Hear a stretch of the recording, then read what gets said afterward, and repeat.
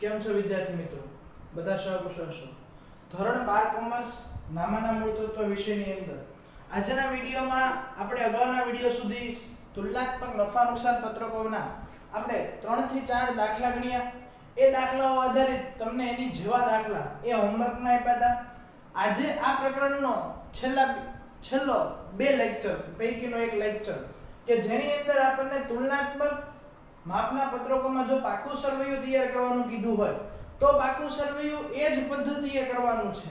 પણ થોડીક એક અમુક વસ્તુ અમુક વસ્તુ તમારે ખાસ યાદ રાખવી પડતી હોય છે. તો તમારી નજરની સમક્ષ સ્વાધ્યાયનો દાખલા નંબર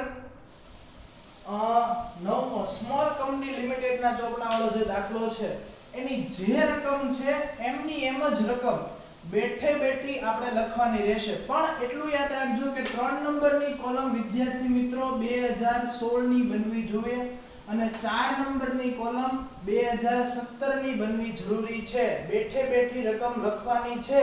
પણ આ વસ્તુ યાદ રાખજો, પહેલા સોળ આવશે ત્રણ નંબર ઉપર ને ચાર નંબર ઉપર ચાલુ વર્ષ એટલે 17 આવે. ત્યાર પછી પાંચ એટલે ખબર છે 4 3 અને 6 બરાબર યાદ છે 5 ભાગ્યા 3 ગુણ્યા 100 મેં રકમ, આ જ્યારે હું બનાવતો તો જે કંઈ પણ હતું એ ત્યારે મેં માત્ર ઇક્વિટી અને જવાબદારી બાજુની રકમ લખી નાખી હતી. પણ મિલકતો બાજુની રકમ લખવાની બાકી છે, એ આપણે જ્યારે સમજતા જશું, ત્યારે આપણે આગળ કામ કરતા જશું. અને નેક્સ્ટ વિડિયોની અંદર આની પછીનો જે દાખલો છે, એટલે કે દાખલા નંબર 10મો એ કદાચ પરીક્ષામાં પૂછાઈ શકે. આવડો મોટો દાખલો છે, પૂછાવાની શક્યતા ઓછી છે. પણ સરકારે બોર્ડ દ્વારા જે અભ્યાસક્રમ ઓછો કર્યો, એના અંતર્ગત કદાચ પૂછાઈ પણ શકે. તો આપણે દાખલાની તો તૈયારી કરી રાખવી જરૂરી છે. તો સૌથી પહેલા આમાં કોઈ સરવાળા છે, એ હંમેશા છેલ્લો સરવાળો આપણા માટે મહત્વ હોય છે. બે વર્ષનો છેલ્લો છેલ્લો સરવાળો પણ આપણને આપી દીધો છે. તો એ આધારિત આપણે ટકાવારી મેળવતા જઈએ. પાંચ નંબર એટલે 4 3 6 બરાબર 5 ભાગ્યા 3 ગુણ્યા 100 તો પહેલા 22 લાખ માઇનસ 17 લાખ, એટલે અહીંયા વધે 5 લાખ રૂપિયા. આપણે પહેલા 5 નંબરની કોલમ મેળવી નાખીએ. 5 લાખ ભાગ્યા 17 લાખ ગુણ્યા 100 એટલે 29.41% મળશે. ત્યાર પછી આપણને જે માહિતી આપી એને આધારિત આપણે જોવા જઈએ, તો 10 લાખમાંથી 12 લાખ બાદ કરું તો વધે 2 લાખ, પણ માઇનસ વધે એટલે કાઉન્સમાં લખવાના 2 લાખ માઇનસ ભાગ્યા બાર લાખ, એને ગુણ્યા સો, એટલે 16.67 ટકા. પણ એ માઇનસમાં મળે, કારણ કે બાદબાકી માઇનસમાં મળી, એટલે ટકાવારી પણ માઇનસમાં મળશે. બે ચાલીસ માઇનસ બે લાખ, એટલે ચાલીસ હજાર. ચાલીસ હજાર ભાગ્યા બે લાખ, એને ગુણ્યા સો, એટલે વીસ ટકા અહીંયા મળશે. ત્યાર પછી 2 10 માઇનસ 1 80 તો વધે 30000 30000 ભાગ્યા 1 80 એને ગુણ્યા સોળ. એટલે 16.67 ટકા એ પ્લસમાં મળશે. છ લાખ માઇનસ આઠ લાખ એટલે બે લાખ, પણ કેવા બે લાખ મળે? તો કે માઇનસ મળે. બે લાખ માઇનસ ભાગ્યા આઠ લાખ ગુણ્યા સો કરું. એટલે 25 ટકા, પણ એ 25 ટકા મળશે મને માઇનસ. 90 માંથી 45 જાય તો વધે 45000 45000 ભાગ્યા 45000 ગુણ્યા 100 એટલે જવાબ આવે ઓલવેઝ 100 ટકા. બરાબર? 90 માઇનસ 1 35 એટલે માઇનસમાં જવાબ આવશે. માઇનસ 45000 માઇનસ કોઈ પણ આવે એટલે આપણને ખ્યાલ છે કાઉન્સમાં મૂકી દઈએ. ભાગ્યા 135000 એટલે 33.33 ટકા, પણ એ મળશે આપણને માઈનસમાં છેલ્લે 70 માઇનસ 70 એટલે 0 0 ભાગ્યા 70000 ગુણ્યા 100 કરો તો જવાબ આવે 0 આમાં પણ એ જ રીતે આપણે કરવાનું 45 માઇનસ 43 લાખ 30000 એટલે વધે 1 લાખ 70000 1 લાખ 70000 ભાગ્યા 43 લાખ 30000 એને ગુણ્યા 100 એટલે 3.92 એટલે કે 3.93 ટકા એ મારો દાખલાનો જવાબ થઈ ગયો કહેવાશે. તો આ આપણે મેળવી હતી ઇક્વિટી અને જવાબદારી બાજુ. એ આધારિત હવે આપણે મેળવતા જઈએ, બિન ચાલુ મિલકતોમાં પણ એ જ રીતે હેડિંગ મારતા જઈએ અને કિંમતો મૂકતા જશું. તો 2016 આપણને જે કીધું છે, એમાં આગળ વધી લઈએ. આપણને આપી હતી 15 લાખ, ત્યાર પછી પાંચ લાખ, એક લાખ, ત્યાર પછી સાત લાખ ત્રીસ હજાર ત્યાર પછી બિન ચાલુ રોકાણો આઠ લાખના આપી દીધા આપણને.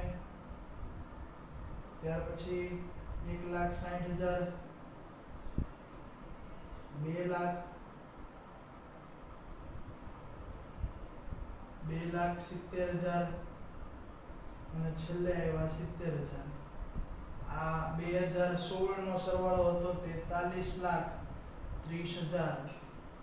ત્યાર પછી આમાં સોળ લાખ, પછી આવ્યા છ લાખ, પછી આવ્યા એંશી હજાર, પછી આવ્યા સાડા સાત લાખ, પછી આવ્યા નવ લાખ, ત્યાર પછી એક એંશી,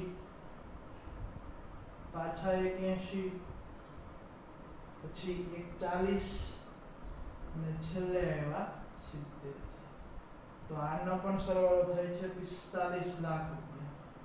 હવે આટલું થઈ ગયું પછી તમારે અગાઉની જેમ જ તે આપણે બાદ બાકી કરતા જઈએ અને દાખલામાં જવાબ મૂકતા જશું. તો સોળ લાખ માઇનસ પંદર લાખ.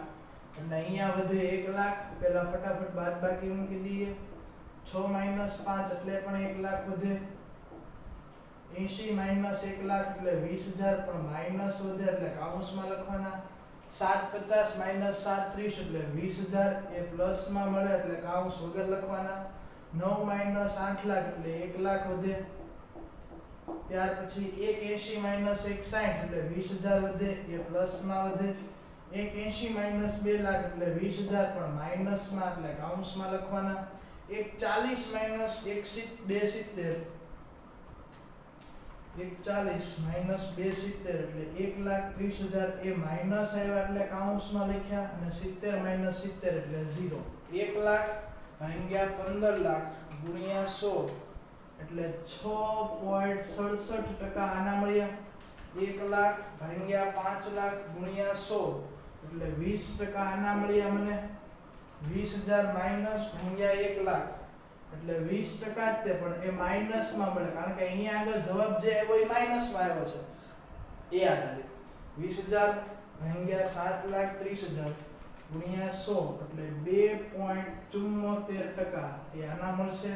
ત્યાર પછી એક લાખ ભાગ્યા આઠ લાખ ગુણ્યા સો એટલે બાર પોઈન્ટ પાંચ ટકા એ બિન ચાલુ રોકાણોના મળશે.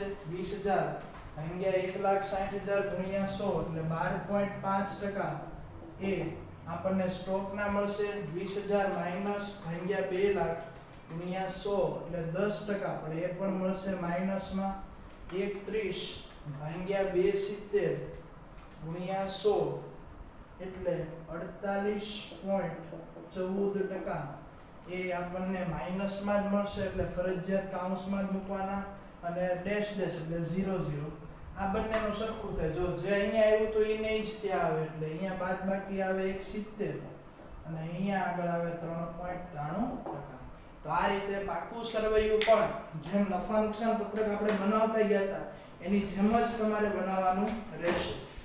તો તમને એક પાકું સરવૈયું, સ્વાધ્યાયનું, દાખલા નંબર સોળમો એટલે કે અમદાવાદ લિમિટેડ વાળો જે દાખલો છે, ઉદાહરણ નંબર સોળ એક્ઝામ્પલ નંબર સોળ એ તમને હોમવર્કમાં હું આપું છું. તો આ એક્ઝામ્પલ નંબર સોળ. નેક્સ્ટ વીડિયો પહેલા તમે ખાસ ગણી નાખજો અને આના પછીનો વીડિયો એ પ્રકરણનો છેલ્લો વીડિયો રહેશે અને આપણે પ્રકરણ પૂર્ણ કરશું. Thank you